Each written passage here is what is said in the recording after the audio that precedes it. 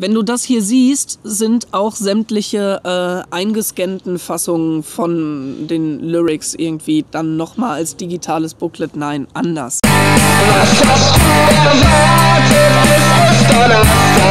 Willkommen zur heutigen Quizfrage. Wie geht's euch? Nee, ist auch blöd. Warum steht ein Pilz im Wald?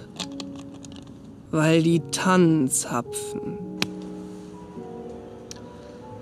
Knicke mich weg von mir. Sonst gucke ich nämlich mich an und nicht dich. Guten Morgen, ich bin Baum und es tut mir leid. Ich befinde mich hier bei meinem Onkel, der war mal in der FDP, um den geht's aber nicht. Dich meine ich, genau dich, wie du da sitzt. Vielleicht sitzt du gerade auch da, je nachdem, wer du gerade bist. Wir müssen uns mal unterhalten, also ernsthaft, also wir uns, nicht ich dich wie sonst immer, sondern wir uns. Das ist ein reines Infovideo und pass auf, das Album ist draußen seit dem 1.7. auf iTunes und Amazon und Google Play und Shazam und Spotify, Deezer und Spotify und Amazon und iTunes und Spotify. Mache ich anders. Ähm, ich gehe nochmal zurück zu Bandcamp. Genau. Da kannst du Meta-Inf käuflich erwerben für ein paar Euro. Das differenziert sich da so ein bisschen. Ganz kurz dazu, falls du eine CD-Fassung haben möchtest, stay tuned. Bandcamp wäre mir lieber, weil Bandcamp ist nämlich nicht so ein Riesenkonzern, der sich da ganz viele Prozente abknüpft, sondern das ist im Grunde dafür gemacht, dass ich das selber mache. Das heißt, ich verkaufe dir selber. Du kannst dir das Dateiformat aussuchen, ich kann Bonustracks verstecken, die du nur dann beim ganzen Paket dabei hast und all so eine tolle Sachen. Das funktioniert alles über Bandcamp. Ich kriege kein Geld von Bandcamp, ich kriege nämlich kein Geld von niemand. Wo ich aber gerade bei Bandcamp war, das ist jetzt eher so eine Randnotiz für die Leute, die das alles ein bisschen bürokratischer haben möchten. Ich habe die Credits runtergeschrieben fürs Album und ich feiere das fast fast genauso hart wie das Album fertig gekriegt zu haben. Ich bin da so ein bisschen. Ihr dürft euch das gerne alles durchlesen, dann wisst ihr auch, was da im Einzelnen verwendet wurde, falls ihr euch zu schade wart. Ich weiß gar nicht, wen ich meine. Ist aber egal. Ich habe den ganzen Krempel abgefilmt, den ich mit rechts, ne, weißt du, in Echtzeit. Das hast du einmal. Du hast aber alle äh, äh, äh, Songs, alle Lyrics. Du hast Blum. Du hast aber auch jeden Song nochmal separat. Das ist nur nicht gelistet. Das findest du über die Playlist hier auf YouTube. YouTube. Gehst du auf Playlist, hast du Lyrics, Videos, Artwork, keine Ahnung, wie ich das genannt habe. Auch gerne schnappen mitsamt URL und in die Welt Word spreaden, weil ich bin stark darauf angewiesen, dass mir beim Weitersagen geholfen wird. Wäre cool. Ähm, ich habe erwähnt für die Leute, die noch CDs kaufen, so diese, ne, diese, ich werde mich drum kümmern, ja, Pressung ist übertrieben, aber ein Bestand mir aufzusetzen an Meta-Inf-CDs. Erwartet nicht zu viel, das wird kein dickes Booklet mit allen Texten sein, das wird mh, kostengünstig sein. Ich werde versuchen, das Slimcase zu vermeiden, weil beim Slimcase steht ja nichts auf der Seite und dann siehst du es im Schrank nicht. Wahrscheinlich wird es auf eine normale Standard-CD hinauslaufen. Wenn du Glück hast, kannst du es einmal aufklappen. Am 15.08. möchte ich, dass das merkwürdig, weiß gar nicht warum, in der Form, dass du das dann auch über Bandcamp beziehen kannst. Slamda. Am 15.08. Bandcamp Meta-Info und dann steht da irgendwo, schieß mich tot. Denke ich, werde einen Zehner nehmen müssen, weil es kostet echt Geld. Ich werde es nämlich so machen, dass ich am 1.08. alles bestellen werde, radikal, was ich dafür brauche, für 50, 75, 100 Stück. Ich weiß nicht, wie viele ich verschicken will, falls ich dazu komme. Du darfst mich natürlich auch zuscheißen mit deinem Geld, wie das ein paar Leute gemacht haben. Alter, ich danke euch. Ähm, Mom? Mountain Dew? Also, 15.8., wenn du es als CD haben willst, wenn du es als MP3 haben willst, wenn dir das reicht, tob dich aus, wo du möchtest. Am liebsten wäre mir Bandcamp und dir auch, weil wenn du das ganze Album holst, dann ist ein Hidden Track dabei und das Artwork vielleicht. Man munkelt, es könnte sein. Man kennt es ja bereits. Ach so, da war ja auch noch was. Meta-Inf wird für einige Zeit das letzte Album von mir sein mit neuer Musik. Ich bin an einem Punkt, an dem war ich, falls überhaupt jemals schon, dann lange nicht mehr. Da unten bin ich. Ähm, ähm, ich habe nichts mehr. Ich bin sold out ein bisschen, um so zu sagen. Immer wenn irgendwas fertig war, hatte ich ordentlich was fürs nächste Projekt, Album, weiß ich was. Das ist gerade nicht so. Ich habe in den letzten drei Jahren drei Alben rausgehauen und das reicht jetzt erstmal. Und noch ein paar Singles mit Bonustracks und so weiter und so fort. Das ist jetzt das Fundament, was da ist. Drei Alben, die ganz gut sind und noch so ein bisschen alter Scheiß, ein paar hundert Songs, die ambitioniert, unausgereift, aber trotzdem schick sind, wie eine schöne Antiquität, ein bisschen geaged wurde. Vintage verkauft sich besser an die Bravo. Ich weiß das. Wir haben uns Klamotten ausgesucht und dann wurden sie zwei Wochen lang Ist auch egal, bis auf weiteres. Ich werde aber trotzdem Sachen aufnehmen, und zwar zwei verschiedene Sachen. Die eine hat ein Jahr Zeit, die andere hat ein Vierteljahr Zeit. Ich habe demnächst mal wieder ein Konzert anstehen, Mitte, Ende Oktober. Äh, hier die Hauptstraße runter, da wo ich immer spiele, weil es der einzige Laden ist, der noch verblieben ist. Stunde plus Zugabe wurde mir gesagt. Und ähm, ich hätte gerne ein neues Live-Set mit den Meta-Inf-Songs. Dafür muss ich aber Live-Playbacks aufnehmen, weil ich möchte gerne die Sachen live-fair haben, als es wäre, wenn ich jetzt einfach nur ne, ist mir zu blöd geworden. Ich will das live haben mit dahergerotzten Drumtakes, ohne Metronom und den ganzen Krempel. Erschwerend kommt hinzu, dass meine Aufnahmefähigkeiten sich nicht verschlechtert haben, seit ich das letzte Mal Playbacks aufgenommen habe. Deswegen werde ich von dem ein oder anderen älteren Song auch nochmal ein Playback neu aufnehmen, so wie ich alle zwei Jahre meine Sachen komplett neu aufnehme. Ich habe einen weiteren noch geschafft, weil ich dachte mir, der ist von 2008. Der wird so schwer nicht sein um euch dann eine Show liefern zu können, die sich gewaschen hat. Wundervoll. Genauso wie hier heute Morgen. Ich sag's jetzt schon mal, ich sag's auch später nochmal, solltest du hier in der Gegend sein oder in die Gegend kommen können, weil du irgendwie zu viel Zeit und Geld hast, sei herzlich eingeladen. Ähm, für alle anderen landet das dann natürlich wieder genau hier um euch rum, außenrum, falls ihr nicht auf Vollbild seid. Die andere Sache, die ich aufnehmen möchte, das hat ein Jahr Zeit. Das ist im Grunde eine Greatest Hits. Also von den alten Kamellen, die ich noch so rumfliegen habe, möchte ich die meiner Meinung nach besten nochmal schön aufnehmen. Das war damals ganz unterirdisch und ich möchte gerne nächstes Jahr mal eine Greatest Hits raushauen. Während das alles passiert, werde ich die Kamera dabei haben, werde das aber sehr viel sporadischer festhalten, dass du einfach am Ball bleibst, was passiert ist und wird. Wir können gerne, ähm, wenn es auf den Gig dann zugeht, auch einfach mal ein paar Songs proben. Alte, neue Sachen, die ich unbedingt spielen muss, Sachen, die ich vielleicht überhaupt nicht spiele. Können wir uns ein bisschen austoben, wird bestimmt cool. Das dauert aber alles noch einen Moment, denn jetzt ist erstmal Sommer und diesen Sommer nehme ich mir, denn diesen Sommer brauche ich. Ich brauchte den letzten Sommer schon und hatte ihn nicht. Ich war nämlich den letzten Sommer überwiegend in einem Keller und habe das immer noch aktuelle und immer noch grandiose Fail-Album aufgenommen, Level Down. Auch das findest du auf Spotify und es, wir sind ja alle in einem Boot. Ne? Okay, anders. Eine Idee habe ich noch, die habe ich schon seit Ewigkeiten. Ich habe hinter meinem G -G -G Greenscreen sehr viele CDs von sehr vielen Bands und ähm, die bedeuten mir auch mehr oder weniger viel. Deswegen wollte ich nach und nach jede CD mal in die Kamera halten und was drüber sagen.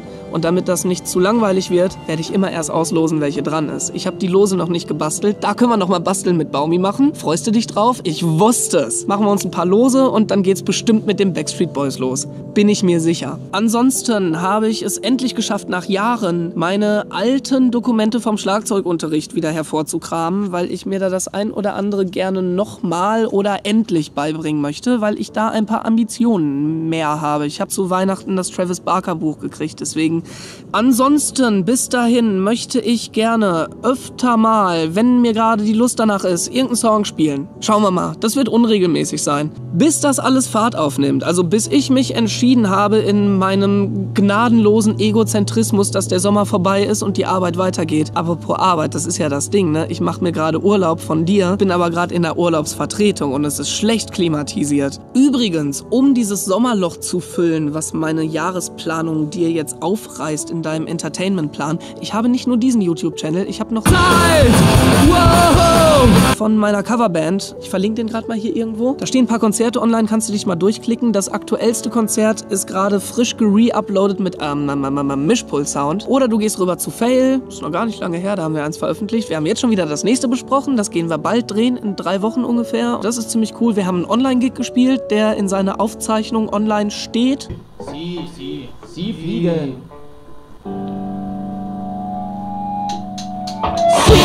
Ähm, genau, das habe ich gar nicht auf meinen... Ich will mich drum kümmern, irgendwas streamen zu können. Von zu Hause, da muss ich noch ein bisschen gucken, bin da eklig über WLAN im Internet. Und selbst wenn das alles klappt, kann ich da nicht sonderlich laut sein. Das heißt, da könnte ich höchstens so Cubase-Action streamen. Ich habe leider derzeit keinen Raum so wirklich, in dem ich kann, in dem ich laut sein kann und online sein kann. Dann habe ich vor einiger Zeit was ins Leben gerufen, was im Grunde ein Archiv ist für diese lustige kleine Schülerband, in der ich groß geworden bin. Damals viel größer, als ich es damals verdient gehabt hätte und trotzdem nur so groß, um einmal dran zu schnupp. Ist aber egal, jedenfalls da jähren sich die ein oder anderen Sachen zum zehnten Mal, teilweise auch in ganzer Konzertlänge. Das heißt, auch das verlinke ich dir hier gerade irgendwo. Pass auf, das verlinke ich dir auf ihn. Ich hoffe, das ist genug Urlaubsvertretung. Ansonsten habe ich auch noch einen Zweitkanal, der heißt Zweitkanal, aber da ist noch nicht wirklich was passiert. Habe ich noch was vergessen? Jawohl. Falls noch Zeit bleibt, irgendwann haue ich noch ein paar Singles raus von Meta-Inf. Ich muss das ja jetzt ausschlachten. Ich habe eine Idee für eine dr dritte Single, so Richtung Herbst, und eine Idee für eine ich tue mich schwer mit der zweiten Single, die müsste nämlich eigentlich genau jetzt rauskommen. Und ich habe überhaupt nichts. Keine Videoidee, keine B-Seiten. Wenn ich irgendwas damit machen möchte, der Song ist alt. Der Song ist echt alt. Ich glaube von 2008 ist der. Dann sollte das diesen Sommer sein und nicht nächsten Sommer. Ich weiß aber auch nicht was. Falls dir eine Idee kommt, Hilf mir. Ferne Zukunft? Wolltest du ferne Zukunft noch hören? Wir befinden uns in einer... Nach diesem Jahr, also jetzt in einem guten Jahr, werde ich zurück nach Köln ziehen. Im Idealfall mit ganz Fail, weil wir wollen hier alle weg. Ähm, will gerne noch einen Master drauf machen, nur pro forma, um wieder an der Uni zu sein. Und vielleicht noch mal Chancen wahrnehmen, die ich im Bachelor, für die ich zu verballert. Wenn alle Stricke reißen, versacken, aber lieber in einer Stadt, die eine S-Bahn hat, als äh, hier. Weil hier kannst du nur alt werden. Das schauen wir aber dann, das ist alles Zukunftsmusik mittelfristig habe ich so ein paar Sachen. Ich brauche eine Band, weil es sieht dann halt doch affig aus, je rockiger es wird. Einzige Problem ist, ich brauche scheißen gute Musiker, die scheißen willenlose Söldner sind und einfach mal auf Anhieb den ganzen Scheiß lernen können. So, und find die mal. Bis es da soweit ist, möchte ich wenn ich die neuen Playbacks aufgenommen habe, wenn ich das neue Programm theoretisch für den Fall, dass du gerade irgendwie eine Gartenparty hast oder eine weiß ich, was du feierst und du hast das Gefühl, dass irgend so ein Hiopai mit Klampfe da stehen muss, dass du mich dann buchen kannst äh, für Reisekosten, was zu futtern, was zu süppeln und ich kann einen Hut rumgehen lassen. Das ist so mein, ähm, wenn es dann soweit ist, wird es das sein. Grammatikalisch korrekt formuliere ich. Das klaue ich aus Star Trek, das kommt jetzt hier. Grammatikalisch korrekt formuliere ich schon seit Jahren nicht mehr. Ja, ansonsten könnte ich noch ein bisschen mehr Infrastruktur gebrauchen. Ich wollte mir seit vier Jahren Pi mal Daumen schon beibringen, wie ich mir eine Homepage baue, wo dann alles gesammelt, alles was ich outputte und alles was ganz andere Bands outputten, die möglicherweise nie existiert haben und ich habe das alles geschrieben. Man weiß es nicht genau. Ja, jedenfalls das sind so alle meine weiteren, beziehungsweise traditionell habe ich sowas immer in Textform geschrieben, so gegen Silvester und ähm, rückblickend dann immer ungefähr die Hälfte umgesetzt bekommen. Versuch versuchen wir zwei Drittel. Das ist übrigens auch der Grund, warum dieses uralte Bild sich durch diese ganze Klamotte zieht. Dieses uralte Bild, dieses Schräge von der Bühne mit dem Sigma Duck Schlagzeug. Das ist ein Foto von 2004 und vereint sehr, sehr vieles, was FC Baum seitdem so rausgehauen hat. Und äh, das ist ein Kapitel, das sich hier schließt, denn Meta Inf wird zunächst das erste, letzte Deine Mutter sein. Ich hätte es vergessen, wenn es nicht hier stehen würde. Und äh, ich hoffe, du bleibst am Ball. Ich hoffe, du verzeihst mir, wenn ich ein bisschen Sommer habe. Unter Leute wollte. Man wollte ja unter Leute, deswegen singe ich ja auch. Ich habe dir jetzt drei Alben lang mein Leid geklagt darüber, dass ich mein Leben auf Eis gelegt habe, um drei Alben aufzunehmen. Jetzt möchte ich gerne für diesen Sommer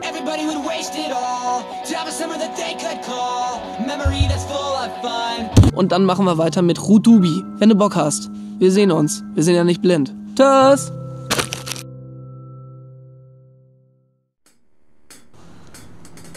Gewaschen in der Waschmaschine, damit sie dann alt aussehen. Obwohl sie neu waren. Ne? Als dann das Fotoshooting ist. Scheißegal. Ist auch scheißegal. Äh, die Notizen, die ihr nicht seht, werde ich. Ach so. Genau. Um nicht zu sagen, ich habe eins neues Album draußen auf. Deswegen musst du es auch zweimal kaufen, weil dich gibt's zweimal. Dass du das auch über Bandcamp äh, dingsen kannst, bumsen kannst. Weißt du schon? Hier, ne? Kaufen. Kaufen, kaufen, kaufen. Äh, in der Form, dass.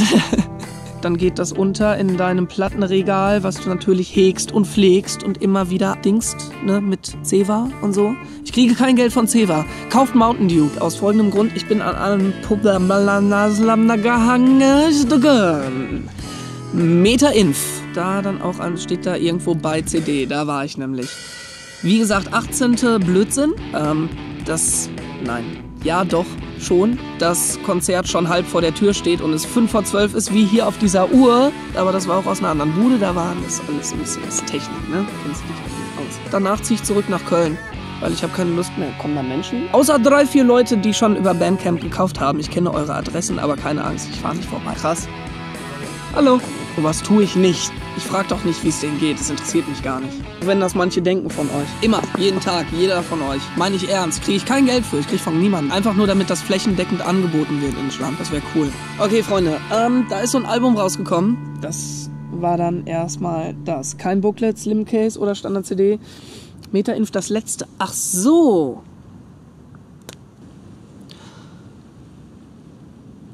Ja.